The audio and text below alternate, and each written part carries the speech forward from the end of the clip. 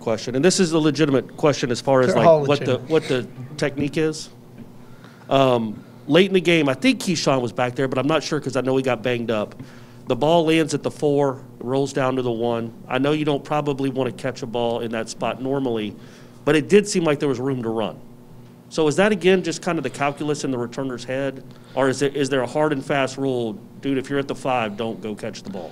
Yeah, so we tried we tried to in those backed up punt scenarios. We try to not make it where there, there's a whole lot of gray for the player. Um, we are deeper than some some teams. You know, I've I've heard people say, you know, put your heels at the ten or put your. We are heels at the seven, and there really is no time that we want our guys inside of that. Um, obviously not having the ball at the one is, is preferable, right? But uh, with the ball hitting at the four, you're hoping that it hits and rolls, and, and you're playing the percentages there. Um, you know, and, and through a lot of analytics is why we choose the seven.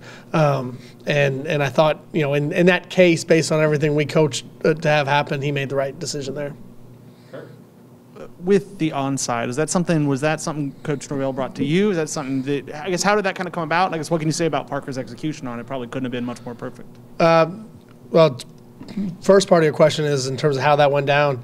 Um, Coach did say he wanted something earlier in the week that that was aggressive like that and that kind of mindset, and uh, he suggested that we have have something ready for that. So, um, you know, that was that was how kind of that started.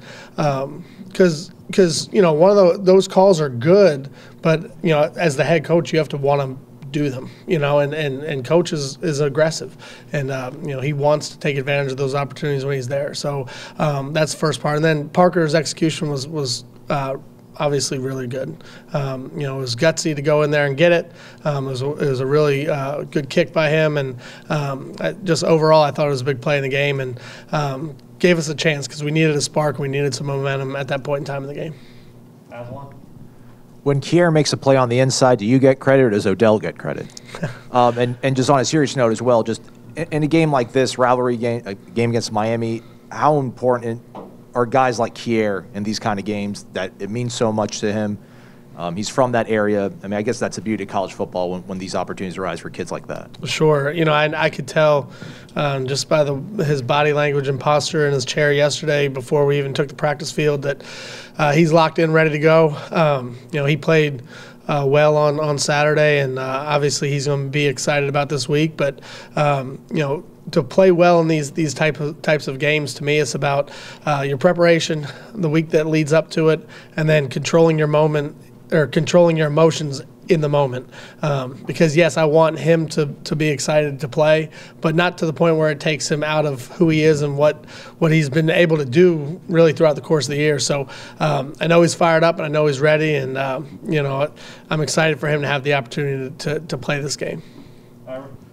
Following up on, on Keir, uh, after the game, I think somebody asked him about the defense, it might have been me, about the defense, the missed tackles and just kind of some, giving up some big plays.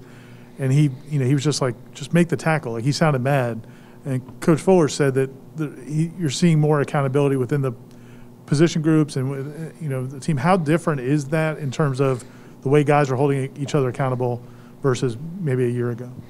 Um, you know, I, I think you've seen a, a growth uh, overall from the defense as the year's gone on. Um, you know, last year is last year in terms of just just a, such an odd year with a new staff and, and the way the year went with kind of the COVID and all the different bodies that were rotating in and out of the lineup. But uh, it's been pretty consistent in terms of who's playing.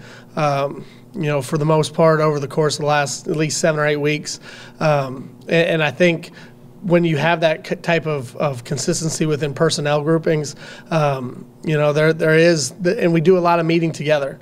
Um, so the more comfortable you get with each other, and the, and um, I think the more the time you've put in, and the more work and all the practice, I, th- I think there is that comfort level to to talk, and I, it's a close group, and um, you know there is accountability within the defense, and and uh, that's not sometimes that, that's looked at from like as a negative, uh, like it's always accountability is, is a negative thing, but when good things happen, um, you know whether it's good things on the on the back end or on the front end, um, those guys are cheering for each other and they're pulling for each other. And um, you know, I, I, you do see a, a group that's starting to come together.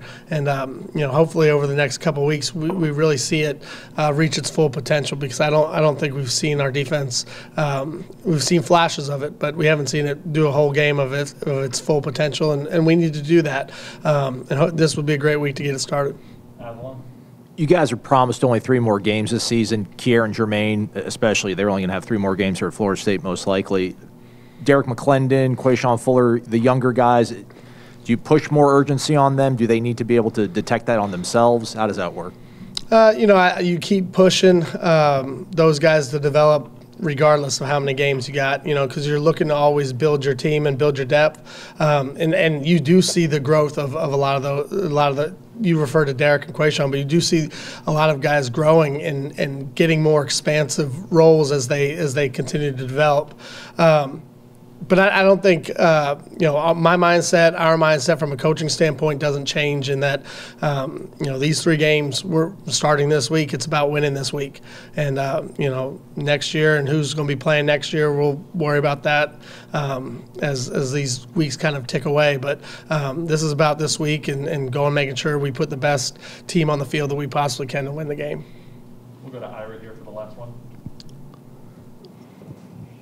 Actually, a two-parter uh, about Parker. Um, did he uh, did he pull anything on that? Was it on that play, or was it or was it on the ensuing kickoff? Yeah, no. So um, on the on the kick, um, you know, I think there was a lot of adrenaline and everything that kind of went with it.